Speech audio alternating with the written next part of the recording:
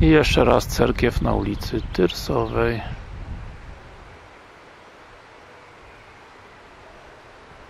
Filmik niestety robiony pod słońce.